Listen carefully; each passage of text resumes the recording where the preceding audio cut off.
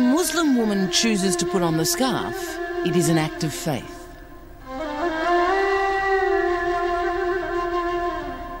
I do this because God wants it. And He created me, and I want to obey His rules. But in Turkey, once the fabric is tied, pinned, and adjusted, the headscarf becomes a symbol of something dangerous. The individual face framed by the scarf transformed into the face of Islamic fundamentalism. Türkiye'de laik rejimi kaldırmak isteyen güçler var. Yani Türkiye'yi İran'a döndürmek isteyen, koyu dine bağlı bir rejime döndürmek isteyen güçler var. Bunun önlenmesini silahlı kuvvetler istemesin mi?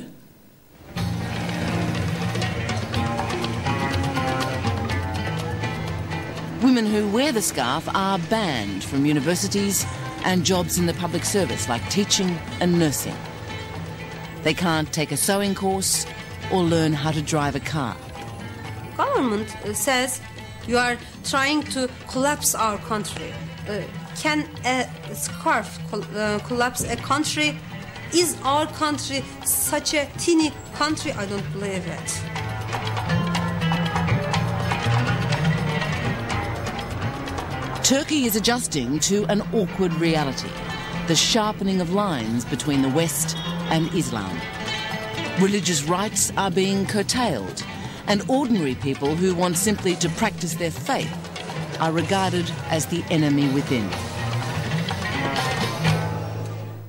Ben e, irticanın tarifi yapılma ülkemde irticanın tarifi yapılmadığı için ben irticacı mıyım? İrtica nedir bilemiyorum. Namaz kılmak, oruç tutmak, zekat vermek yani İslam'ın şartını yerine getirmek irticaysa, onu bilem irticaysa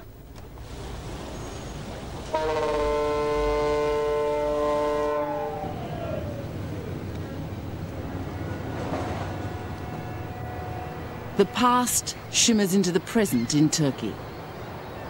Islam and Christianity, two great religious tides, met here at the legendary Golden Horn 1200 years ago. The Roman Empire fading, replaced by an empire of soaring minarets.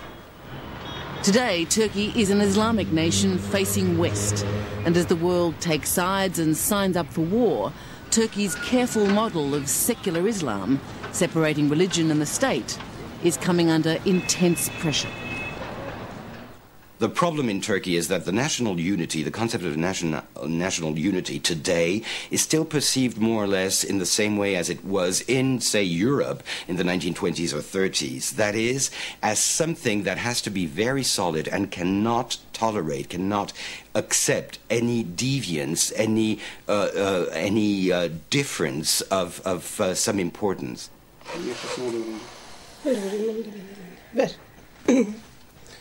Masayı ters koymuşsun bana çok ters geliyor. Najia Altay fusses over her eldest son in the way of all mothers readying a child to leave home. Mujahid is leaving for university. There's elation, but also disappointment. Tüh keşke hiç hazırlamasaydık dünden.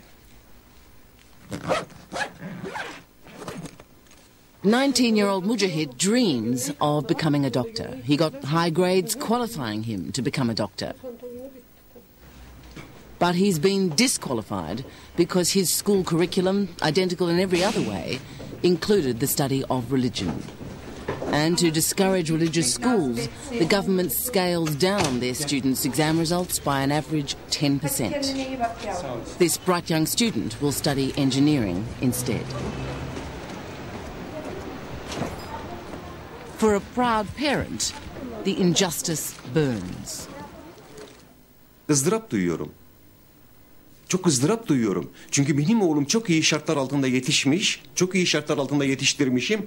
Ben emekliyim. Çalışarak 30 sene ben fiilen bu devlete vergi vermişim. 30 sene çalışarak evlatlarımı büyütmüşüm. En iyi şartlar altında yetişmişim. Yetiştirmişim ve çocuklarım da çok başarılı olmasına rağmen sadece Kur'an öğrendiği için, inancını yaşamaya çalıştığı için diskalifiye, pasifize edilmiş ve dışlanmıştır.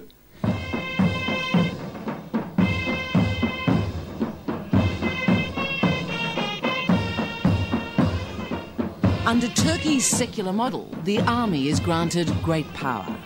charged with defending both the nation's security and its secular system, religion seen as threatening as an invading army. The most recent clampdown on Islam four years ago saw the removal of Turkey's first Islamic Prime Minister. The February 28th process, as it's known, was engineered by General Çevik Bir.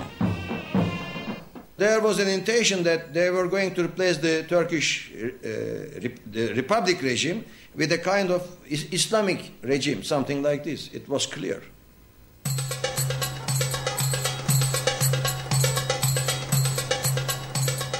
The implications of the Islamic purge have been radical for Turkish citizens like Fatima Nur. A secondary school teacher for a dozen years, she taught her students wearing her headscarf. Her career ended abruptly one morning after being summoned to the principal's office. The student called me. He said uh, the head of the school was calling me. I went there, uh, and he said uh, he was sorry, but uh, it's the end of my uh, teaching. Hayırlı işler. İyi günler. Boş örtüsü bakabilir miyim? Pastel Scarves are now forbidden, even at religious schools. Without work and an income, Fatima's been forced to return to live with her parents in their village. Shopping in Istanbul a rare treat.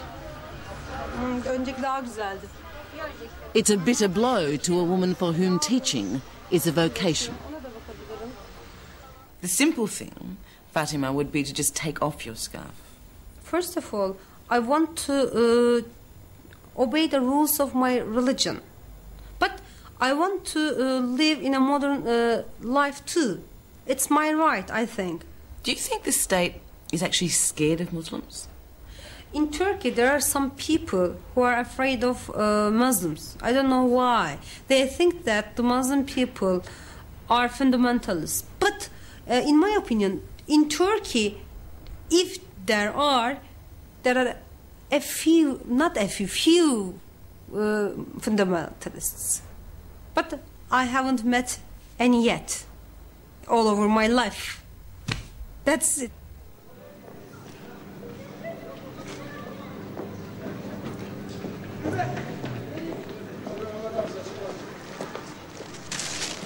Çek. Hızlı çek.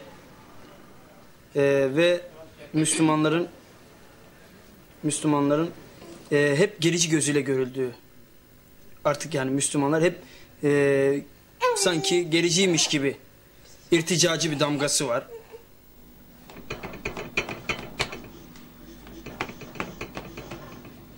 Mehmet Kamerchu family has also been caught in the clampdown. His scarf-wearing sisters forced to suspend their university studies. It's a paradox, but Turkey's determination to suppress Islam is pushing young women back into the home, something associated more with radical Islam than the West.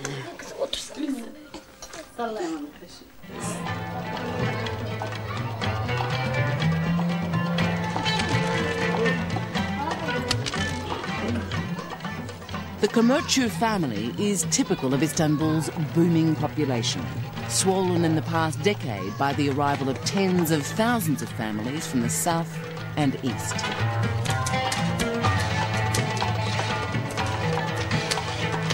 Crafts learned at the knee of village masters continue in the crowded communities and labyrinth of streets.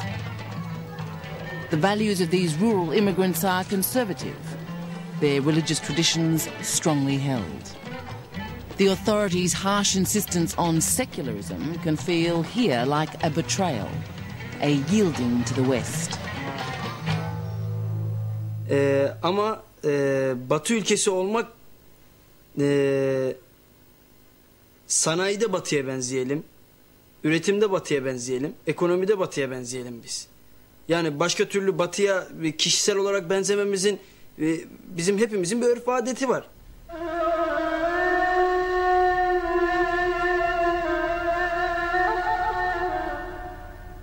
Religion does have a place in Turkey, and it is confined to the mosques. This is Islam as decoration, part tourist attraction, part architectural wonder. but a religion swept into the corners of public life. Those who challenge this policy, even those who simply wish to debate it, can expect to feel the full weight of the state. This man, for instance, writer and columnist Fehmi Koru, is charged with breaching Turkey's freedom of expression laws and faces a six year jail term. I have a wife and five children. Fehmi will be tried by a military judge before a state security court, alongside drug smugglers and perceived enemies of the state. Even a former judge of this court, Umit Kardas, believes a fair trial is unlikely. E, mutlaka acı çekiyor çünkü e, savunma hakkından yoksun kalıyor. Birçok haklarını yargılama yöntemi nedeniyle bu nedenle devlet güvenlik mahkemelerinin kaldırılması gerektiği kanısındayım.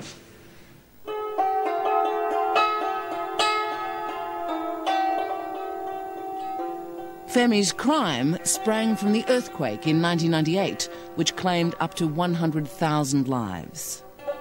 An Islamic newspaper editor interpreted the devastation as a response by God to the 97 coup, retribution for those opposed to Islamic values. It was a view the authorities did not wish aired. I was only defending his right to say this because everybody is entitled to his or her own uh, ideas and whether you believe in God or not, whether you are an atheist or not, uh, you can say what you think very openly.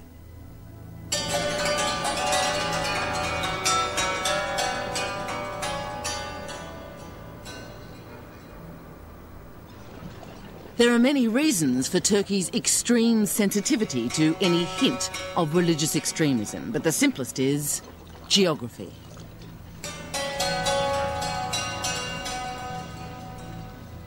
While its western border is the tranquil Aegean, to the south and east are the fundamentalist forces of the Middle East. Do you regard Muslim fundamentalism as the greatest threat to Turkey today? Görmeye de devam ediyorum. Çünkü bunlarla e, çevrilmiş Türkiye, demin saydığım gibi İran, Irak, Suriye gibi fundamentalist ülkelerle çevrilmiş. Ve onlar bizi kendilerine benzetmek istiyorlar. Çünkü İslam ülkesi 52 tane İslam e, devleti arasında bir tek Türkiye Former President and four star General Kenan Evren ruled Turkey for eight years in the 1980s. Now 85, he remains a sharp observer and a dedicated secularist. e, fundamentalist kişilerle mücadele onların onların e, uyguladığı e, uyguladığı sistemdir bu. Do you believe that Turkey needs to be tougher than ever with its Muslims, with its fundamentalists? Ha Türkiye acaba böyle bir tehlike geçen içinde mi? Şimdi değil ama eğer yumuşak bırakır, gevşek bırakırsak bir zaman gelir bu Ladin gibi insan- insanlar da bize de çıkabilir.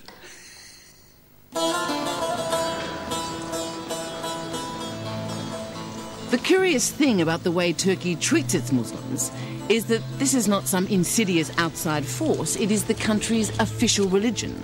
When Turks are born, that's what's written automatically on their identity documents. Religion, Islam, which is why it's a 99% Muslim country.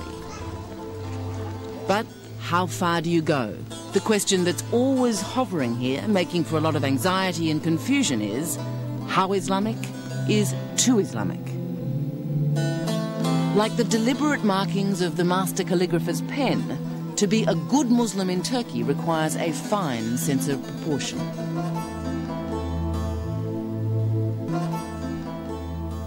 A slip one way or another, and the balance is disrupted, the harmony ruptured.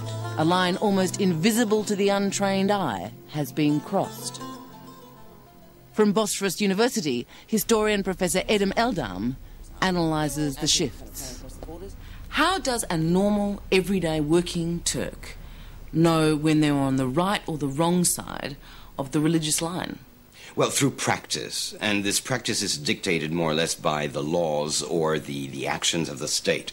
So it's not really an internalized, or if it is internalized, it is through education, through socialization into the Turkish state. But it is a line that is more or less defined by the state and not by individuals. And that line may change in time. At sometimes things, certain aspects of Islamic behavior may be accepted, tolerated as being okay, if you want. And at sometimes you may have a tighter line when, you know, things are not okay. Abi ben de eski ve sen 3 milyon mescidi yakarsın görenin. Many in Turkey argue that the time has come to loosen the line. Partly because Islam is no threat to the stability of the state, partly because Turks, especially Turkish farmers, are desperate to join that exclusive Western club, the European Union. To qualify, Turkey must first abandon its repressive ways and its reliance on the military. It must outgrow what Deputy Prime Minister Mesut Yilmaz calls Turkey's national security syndrome. I think, I think uh, that's over. Even the fundamentalists have seen that they will have never a, a future in Turkey. I think the threat is over. Can the military's mind be changed on this matter? Uh, if the threat of terrorism and fundamentalism are over, the mind of military has to change. You're sure? I'm sure. If everything is changed, uh, military cannot remain uh, unchanged. Yet the West's war on terrorism gives renewed strength to the military's arm, whatever the government wants. Democracy needs discipline. After the 11 September operation, I do believe that most of the countries have already changed their way of looking to that. So rather than the world lecturing Turkey on human rights, you're saying the world will adopt your priorities? Right now, the security of the people and the society is more important than the human right. Don't you think so?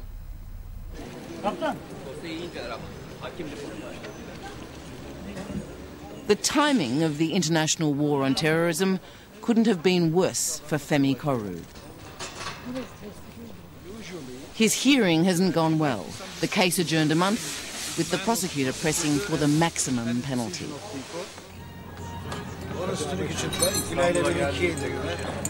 He and his supporters sense the hardening of attitude is due to the global climate change towards Islam. This means that uh, the world has become an arena for a global February 28 process, meaning uh, that the rights of uh, individuals have been uh, can be sacrificed uh, on the altar of uh, this security of the state. If you put security in front of everything, in front of the rights and uh, freedoms of the individual, uh, this is this can lead uh, the world into an unknown future actually, and this is my fear.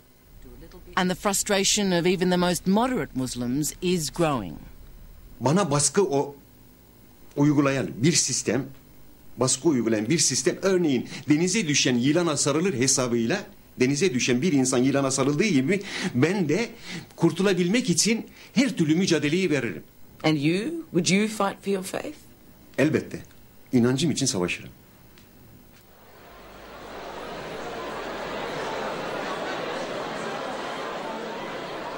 Turkey's political and military elite mingle comfortably at the opening of parliament. Islamic politicians may attend, though their parties are shunned as coalition partners and regularly banned. Ironically, the most popular politician with the public is the Islamic Tayyip Erdogan, who some years ago was recorded saying this. Tutturmuşlar laiklik elden gidiyor, laiklik elden gidiyor. Ya bu millet istedikten sonra tabii elden gidecek ya. Yani sen bunun önüne geçemezsin ki. Yani zorla bu milletin elinde tutmaya gücün yetmez. Millete rağmen bu yürümez zaten. Türkiye'mizin aynı şekilde sorunlarını çözmeye geliyor. Ve buna hazırız. Sıçrayarak inşallah bu sıkıntıları aşacağız.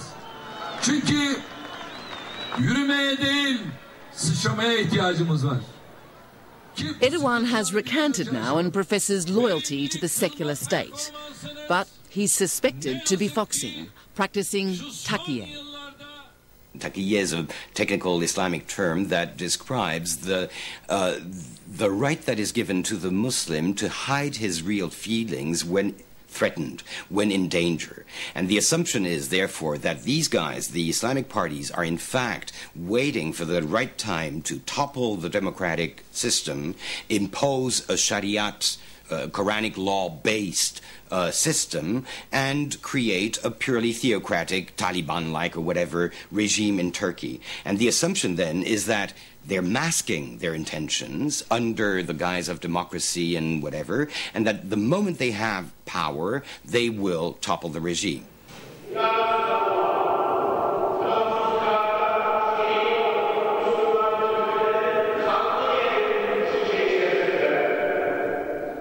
Friday, in every Muslim country, the faithful gather to pray. But even here, the Turkish government takes a strong hand. The Imam's weekly sermon is written by the government appointed spiritual leader. He's allowed to talk up the besieged Turkish lira, but subjects like politics and the war are out of bounds. Camiye gideceksin, namazını kılacaksın, dışarıya gelip hiçbir şeye karışmayacaksın. Yani imam orada gardiyan, cemaatte mahkum. Sistemin algılamış olduğu, benim algılamış olduğum İslam sistem tarafından bu şekilde uygulanıyor.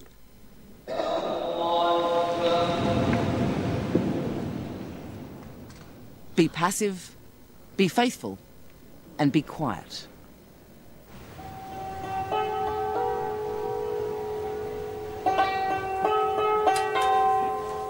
It's a delicate balance, and it costs them many liberties. But the Turkish government has managed to keep its Muslims moderate and the forces of fundamentalism at bay. Now, like the good Western ally it is, Turkey has volunteered to join America's war on terror.